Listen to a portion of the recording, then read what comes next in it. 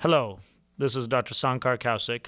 I'm the director of Chesapeake Urology's BPH program, and I'm here to talk to you about UroLift, which is an exciting new treatment for benign prostatic hyperplasia.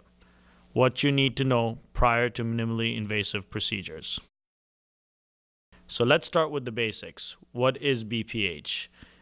BPH, or benign prostatic hyperplasia, is a term that describes the non cancerous growth of the prostate that can result in blockage of the urinary tract and results in changes in urinary symptoms such as more frequent urination, a sudden urge to urinate, slowness of the urinary stream, or incomplete bladder emptying. What is minimally invasive therapy for BPH? Minimally invasive therapies are procedures done through telescopes or catheters that either vaporize tissue or scrape tissue out to create a larger passage for urine flow. Rezum delivers radiofrequency generated thermal therapy in the form of water vapor directly to the extraprostatic tissue, causing it to shrink. UroLift, which is another exciting therapy, uses tiny implants to hold the prostate lobes apart, like open curtains on a window, to relieve compression on the urethra. Photoselective vaporization of the prostate, also known as green light laser, uses a laser fiber to vaporize tissue. Transurethral resection of the prostate, or TURP, uses an instrument which scrapes the tissue out to widen the channel. Transurethral microwave therapy, or TUMT, uses a catheter to heat the prostate, causing it to shrink over time. What are the indications for a minimally invasive procedure? These can include urinary symptoms that are not adequately controlled with medication, or as an alternative to use for long term medication, urinary retention or inability to urinate or empty the bladder, recurrent urinary tract infections related to an enlarged prostate, or recurrent blood in the urine related to an enlarged prostate. So, what is a UroLift? The UroLift system is a revolutionary treatment for BPH. This is a minimally invasive approach that lifts or holds the enlarged prostatic tissue out of the way so it no longer blocks the urethra. Unlike other therapies, there is no cutting, heating, or removal of prostatic tissue. This is a straightforward procedure that is performed by a urologist. The urologist places tiny implants to hold the prostate lobes apart, like open curtains on a window, to relieve compression on the urethra. This allows urine to flow normally again. The UroLift system treatment can be done in the physician's office under local anesthesia. Typically, patients return home the same day without a catheter. And on the right side of the slide, you actually see the device and the implantation of the UroLift system. UroLift recovery. After the treatment, most patients go home the same day, usually without a catheter. There is minimal downtime post treatment, and many patients experience symptom relief in as early as two weeks. Patients may experience some urinary discomfort during the recovery period.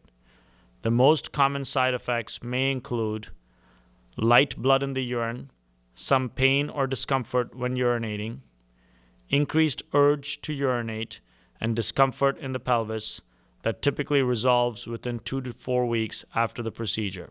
Your doctor will discuss with you how quickly you can return to your normal physical activities. UroLift risks.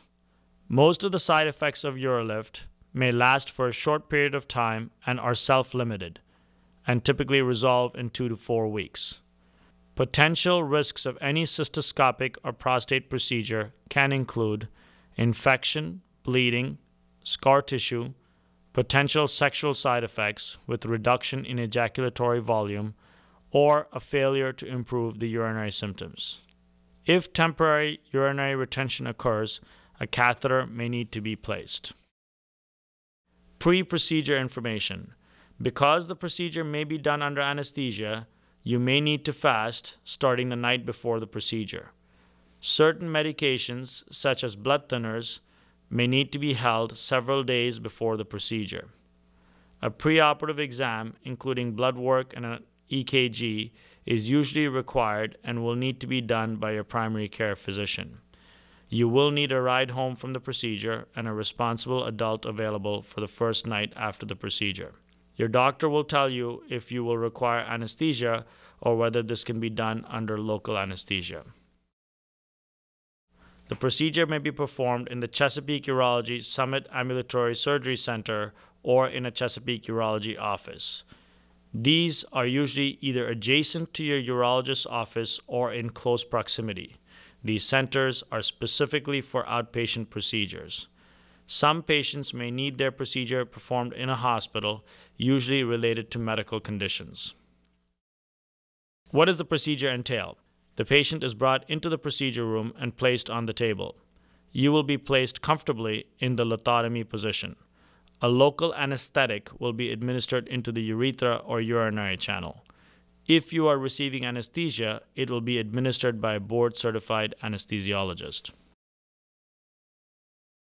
Once the anesthetic has been placed, a telescope will be passed gently into the urethra and into the area of the prostate.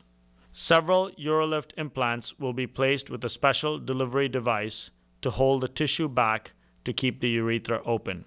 And again, as demonstrated on the picture to the right, you can see the device being placed into the urethra and the level of the prostate, and the implants being delivered to open the urethra.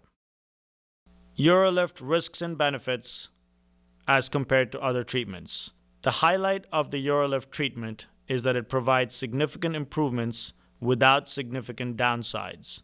Compared with other therapies for BPH, such as medications or laser TURP, which may cause more side effects. What can you expect after the procedure? A catheter may be placed for one to two days after the procedure if you are unable to urinate to prevent immediate postoperative swelling.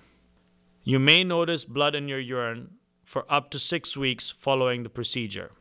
But if there is worsening bleeding, clots, or difficulty with urination, you need to contact us. Irritating urinary symptoms, such as a constant need to urinate, intermittent burning, or more frequent voiding, can occur and last for several weeks to months, depending on the healing process and size of the prostate. Discharge medications. You will usually receive a prescription for an antibiotic for one to two days along with medications to help with burning or pain. You may also need a stool softener. Things to let the doctor know about.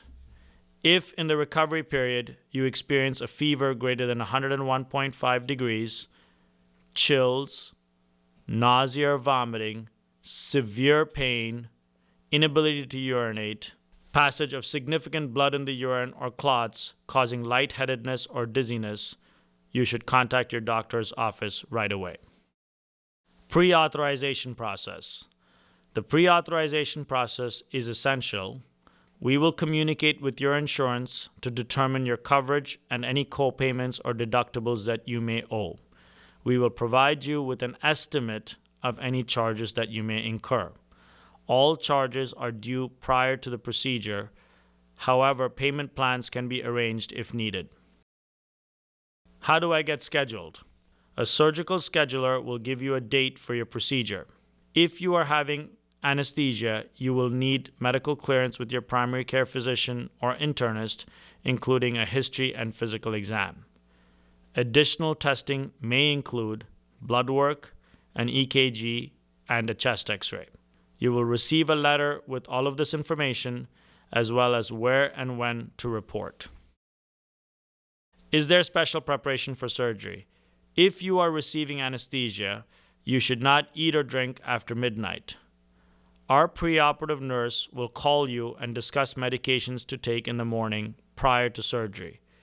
If you are taking a blood thinner, please let your surgeon know, as special precautions may need to be taken. Never stop these medications without a discussion with your primary care physician. These medications include aspirin or Plavix, Coumadin, Xarelto, Eliquis, or Pradaxa. Arrive early We usually expect you at least one hour prior to your scheduled surgery. If you are getting anesthesia, make sure you have a ride home.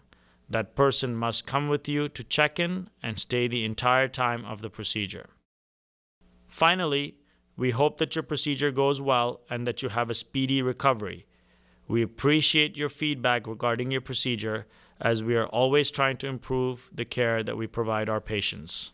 Should you have any questions regarding your procedure or recovery, please contact your Chesapeake Urology Physician's Office at 877 422 8237.